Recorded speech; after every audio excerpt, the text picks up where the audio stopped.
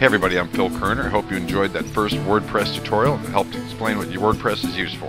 Well, that's what I do, teach how to use WordPress in simple, basic, plain English with no previous experience needed or necessary.